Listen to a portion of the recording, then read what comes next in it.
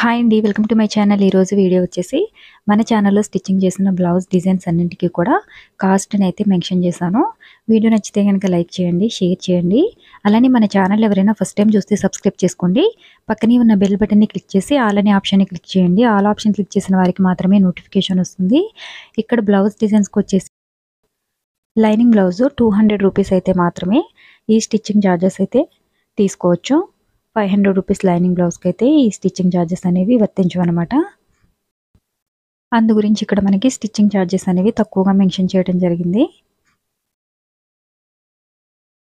చాలామంది కామెంట్ సెక్షన్లో మా ఏరియాలో టూ హండ్రెడ్ రూపీస్ ఉంటుంది లైనింగ్ బ్లౌజు. ఎంత స్టిచ్చింగ్ ఛార్జెస్ తీసుకోవచ్చు అని అడుగుతున్నారు కదా అందు గురించి అని చెప్పేసి ప్రత్యేకించి వీడియో చేసి అప్లోడ్ చేస్తున్నాను.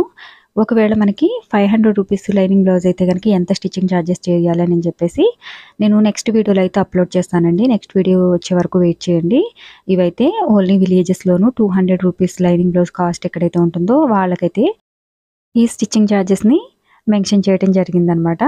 అలానే ఇక్కడ కొంచెం హెవీగా ఉన్న వర్క్ బ్లౌజెస్ కూడా ఉన్నాయి. లేస్తో స్టిచ్చింగ్ చేసి అటువంటి బ్లౌజ్ డిజైన్స్కి అయితే సెవెన్ హండ్రెడ్ నుంచి ఎయిట్ హండ్రెడ్ రూపీస్ వరకు ఈజీగా తీసుకోవచ్చు. ఎందుకంటే మనకి లేస్తో పాటు టైం కూడా చాలా ఎక్కువ టైం పడుతుంది.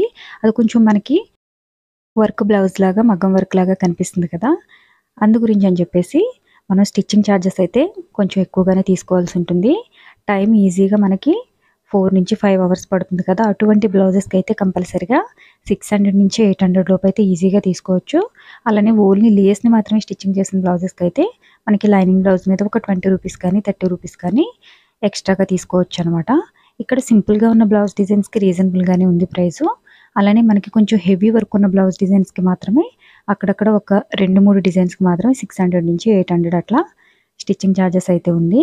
అంతేకాకుండా మనం మెటీరియల్ యూజ్ చేస్తాం కదా బ్లౌజ్ స్టిచ్చింగ్ చేసినప్పుడు బీడ్స్ కానీ లేస్ కానీ అలాగే కొంచెం కాస్ట్లీ ఉన్న హ్యాంగింగ్స్ కానీ యూజ్ చేస్తాం కదా వాటికి కూడా కలుపుకొని ఇక్కడ మెన్షన్ చేయడం జరిగింది.